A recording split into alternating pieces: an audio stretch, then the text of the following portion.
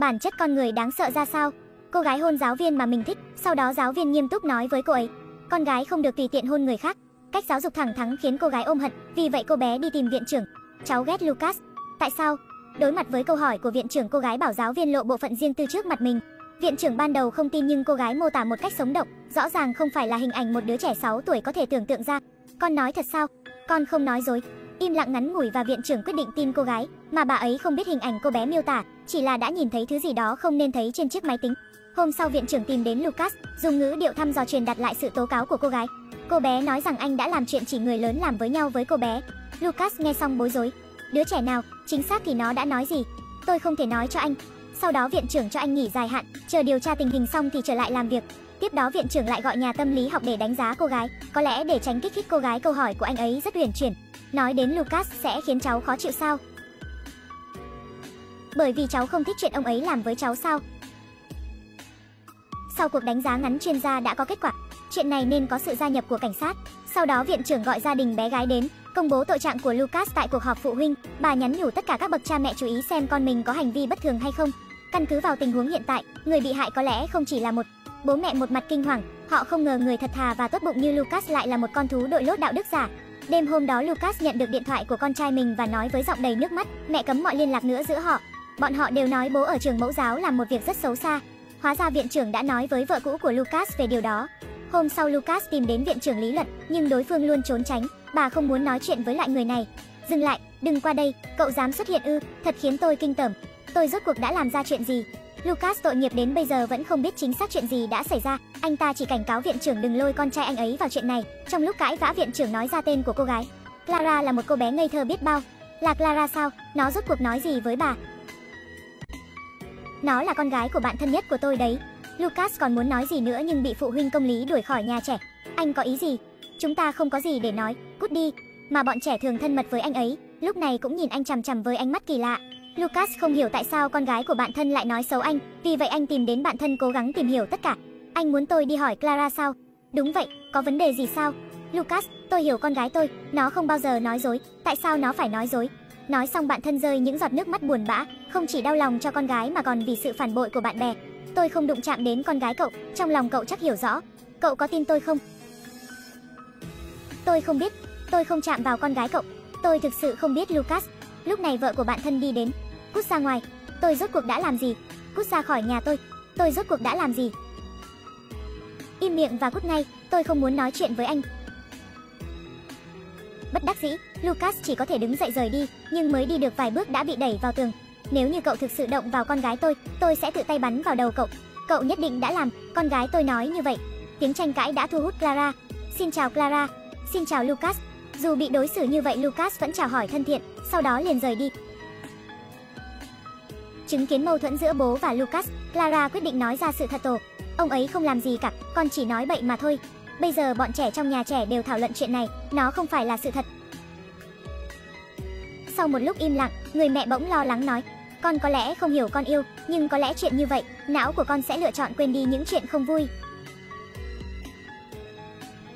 Nhưng Clara, quan trọng là nó đã qua rồi, chúng ta rất vui vì con đã dám đứng lên tố cáo Lucas, hiểu chưa con yêu? Cứ thế cô bé đã đổ thêm tội danh càng nặng hơn cho Lucas, cuối cùng chuyện này đang lên men nhanh chóng trong thị trấn. Nhiều bậc cha mẹ cho rằng con mình bị xâm phạm, họ tìm đến bạn gái Lucas và mong cô có thể giúp thu thập chứng cứ. Được rồi, dựa vào cái gì? Bạn gái bạn đầu đã không tin cho đến ngày nay Clara đột nhiên tìm đến nhà. Con có thể vào trong chơi với chó con không? Xung quanh không có ai, Lucas ngồi xuống nhẹ nhàng hỏi. Ta đã làm gì với con? Con không nhớ nữa, còn có những người khác nữa. Lucas nhận ra có gì đó không đúng và vội vàng hỏi. Còn ai là sao? Ý con là gì? Clara bắt đầu vội vàng đi lui, cảnh tượng này tình cờ bị bạn gái phía sau nhìn thấy. Thấy Clara sợ hãi bật khóc, bạn gái cũng nổi lòng nghi ngờ. Lucas, anh đã đụng chạm cô bé đó sao? Cái gì? Anh sẽ không phải là biến thái đi. Đôi mắt của Lucas biến đỏ, anh không ngờ những người thân thiết nhất lại bắt đầu nghi ngờ mình, cuối cùng thì người đàn ông luôn nhẫn nhịn này cũng gục ngã. Thu thập đồ của cô rồi cút đi. Anh giận dữ đuổi bạn gái ra ngoài, sau đó nằm trên giường đọc sách một mình, mãi cho đến khi con trai xuất hiện, cuộc sống mới được đưa trở lại đúng hướng. Bố thật cầu thả, cậu ấy không thể ngăn những tin đồn về cha mình, thậm chí bị đối xử khác biệt. Hôm nay con trai đến siêu thị để mua hàng, người quản lý nói với cậu ấy rằng sau này nơi này sẽ không chào đón hai cha con họ nữa. Tại sao? Nơi này không hoan nghênh xuất sinh. Đứa con bất lực chỉ biết rời đi, vừa tới cửa đã đụng phải bố bị cảnh sát bắt đi. Gọi cho mẹ nói mẹ đến đón con, không sao đâu. Con trai không nghe lời bố, quay lại đến nhà bạn bố, cậu cầu xin anh ta giúp bố mình, dù sao họ cũng từng là bạn thân của nhau. Cậu là một đứa bé tốt, cậu không cần phải trả giá cho sai lầm của cha mình. Ông ấy không làm gì sai. Thấy không giải thích được, cậu bé kích động hỏi Clara, tại sao em nói dối? Em không nói dối. Chúng ta đi thôi Clara. Con chỉ muốn hỏi rõ. Cháu đi ra khỏi đây đi. Đừng đụng vào con bé, đi ra ngoài. Cháu chỉ muốn hỏi nó một câu thôi. Clara đừng đi. Mày tại sao phải nói dối chứ? Hành vi quá khích vừa rồi đã khiến mọi người phẫn nộ, cậu bị một đám đàn ông kéo ra ngoài đánh. John, dừng lại đi.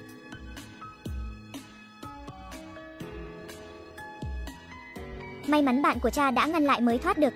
Đứng lên và cút về nhà của mày, tao không muốn thấy mày lần nào nữa. Một lũ ngu, một lũ ngu.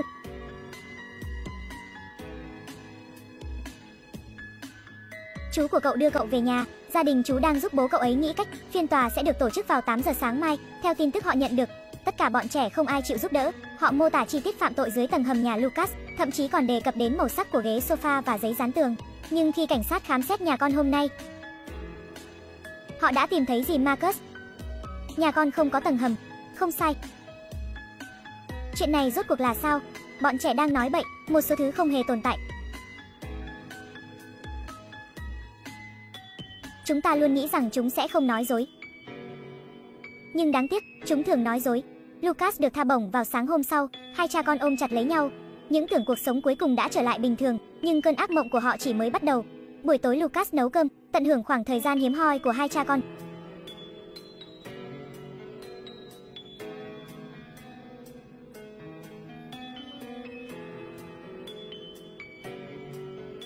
Đứng yên đó đi, Lucas cầm gậy bóng chảy ra ngoài kiểm tra.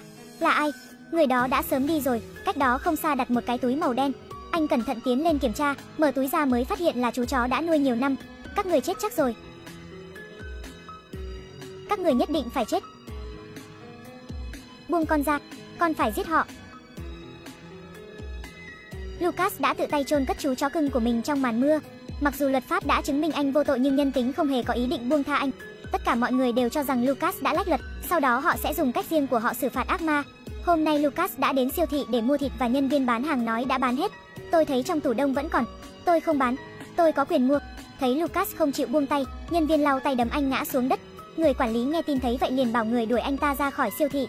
Nhìn những ánh mắt khinh thường từ bên cạnh Lucas quyết bảo vệ quyền lợi của mình, nhưng chờ đợi anh là một trận đòn thô bạo hơn. Đợi nhân viên đánh xong liền ném anh ra khỏi siêu thị như một con chó hoang. Đi chết đi. Cút đi, đừng bao giờ đến nữa. Đừng để tôi thấy mặt anh. Lucas bất ngờ đứng dậy và trở lại siêu thị với những vết thương khắp người.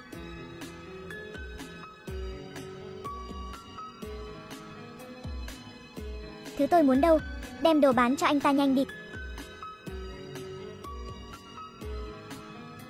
Cuối cùng anh đầy vết thương đổi lấy thứ mình nên có, sau đó anh khập khiễng ra khỏi siêu thị, tình cờ bị một nhà bạn thân nhìn thấy. Nhìn bạn cũ vì câu nói dối của con gái biến thành như vậy, bạn thân xấu hổ cúi đầu. Lucas trong bóng tối suy nghĩ hồi lâu, đột nhiên tựa hồ đã làm ra một quyết định nào đó. Tắm rửa sạch sẽ vết máu trong phòng tắm, mặc một bộ quần áo tươm tất sạch sẽ, sau đó mạnh mẽ uống một ngụm rượu mạnh, rồi anh đến nhà thờ. Hôm nay là đêm Giáng sinh và người dân thị trấn sẽ tụ tập ở đây. Khi Lucas mặt đầy vết thương đi vào nhà thờ, khuôn mặt của mọi người đầy kinh ngạc. Lucas ngồi xuống chiếc ghế trống, khi giám mục bắt đầu cầu nguyện, anh quay đầu nhìn bạn thân, nhìn về người đã tạo thành mọi chuyện này. Xin cho con được cảm thấy hối hận vì những lỗi lầm con đã phạm, để cho con tin vào Chúa.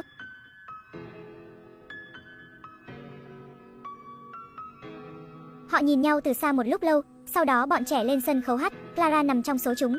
Nhìn cô bé từng buộc tội mình bây giờ như một thiên thần nhỏ, một cảm giác bất bình không thể kiểm soát.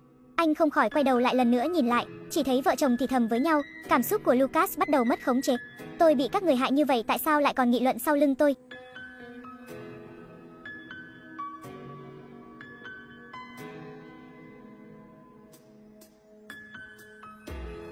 Sự bất bình và tức giận trong lòng anh đạt đến đỉnh điểm, trước mặt mọi người anh đi đến trước mặt bạn thân. Cậu đang nói gì? Có chuyện gì không thể nói trước mặt tôi sao?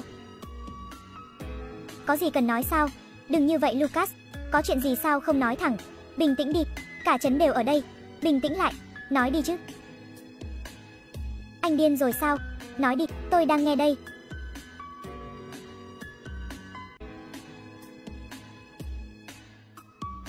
Dừng lại đi, anh điên rồi sao, dừng tay. Anh hãy nhìn vào mắt tôi đi, nhìn đi.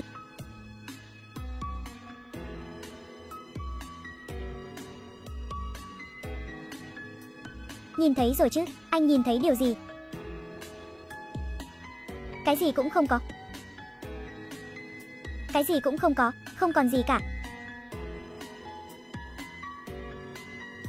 Sau sự cố này, bạn thân cuối cùng cũng hiểu rằng Lucas có thể đã bị oan.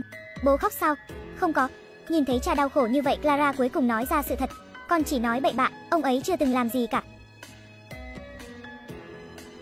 Bố không nói gì cả, nhẹ nhàng đắp chăn cho con gái sau đó xuống bếp lấy bia và thịt, cả đêm chạy đến nhà Lucas, không có oán hận hay xin lỗi như trong tưởng tượng. Hai người cứ như vậy lặng lẽ nhìn nhau, cuối cùng Lucas cầm ly rượu lên và chọn tha thứ. Thời gian trôi nhanh, một năm sau Lucas tổ chức lễ trưởng thành cho con trai mình và mọi người đến chung vui. Họ tử tế nói chuyện với Lucas như chưa từng có chuyện gì xảy ra. Cơm xong Clara đột nhiên xuất hiện ở cửa, giống như lúc trước, cô bé sợ hãi dẫm lên vạch kẻ. Làm sao để không dẫm lên những vạch này? Không biết nữa, quá nhiều rồi. Vậy à,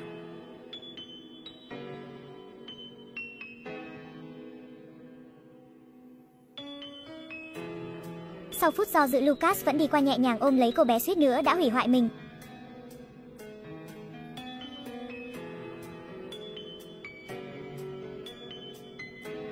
Thành công rồi. Cảm ơn ạ, không có gì. Bữa tiệc kết thúc, một nhóm người ra ngoài săn bắn, Lucas và con trai tách ra, bình thản thưởng thức phong cảnh nhàn nhã,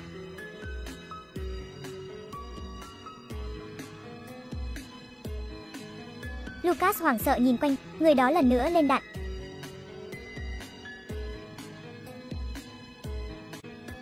Nhưng mãi không bóp cọc. Cuối cùng người đó quay người rời đi, nhưng Lucas vẫn không thể nhìn rõ đối phương, bởi vì anh đứng trên nền tảng đạo đức cao, đứng dưới ánh mặt trời,